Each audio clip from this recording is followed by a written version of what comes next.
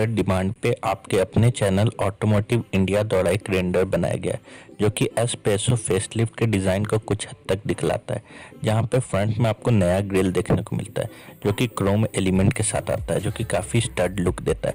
साथ में यहाँ पे जो हेडलैम्प है, उसमें आपको डी और प्रोजेक्टर देखने को मिलेंगे, जो कि विजिबिलिटी को काफ़ी बढ़ा देंगे। नीचे में आपको नया ग्रिल देखने को मिलेगा और फॉग लाइट प्रॉपर देखने को मिलेगी, जो कि काफ़ी ज़रूरी थी इस गाड़ी में।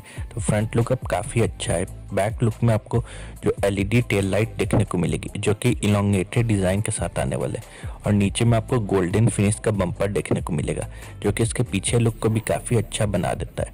वाइपर डिफॉगर को लेकर अभी कोई भी न्यूज़ निकल कर नहीं आएगी। अगर साइड लुक की बात करें तो यहाँ पे आपको न्यू 14 इंच के अलॉयवल्स देखने को मिलेंगे। और आपका जो इंडिकेटर है, वो आपको मिरर में देखने को मिलेगा प्लेस्ड जो कि आपका एडजस्टेबल होने वाला है। और टॉप वेरिएंट में आप इलेक्ट्रॉनिक कंट्रोल भी कर सकते हैं।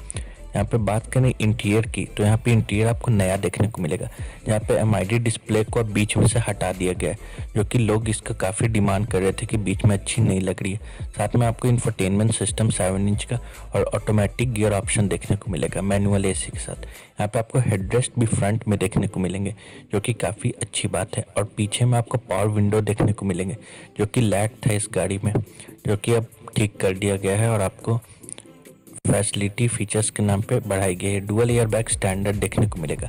इंजन इस बार पावरफुल होने वाला है, जो 1.2 लीटर इंजन आने वाली है, जो कि आपको ज़्यादा पावर भी देगी और इसके साथ आपको सीएनजी ऑप्शन भी देखने को मिलेगा, जो कि काफ़ी प्लस पॉइंट है। अगर बात करें इसके प्राइसिंग की तो आपको फोर लाख से लेकर फाइव पॉइंट फाइव लाख से एक शोरूम हो सकती है।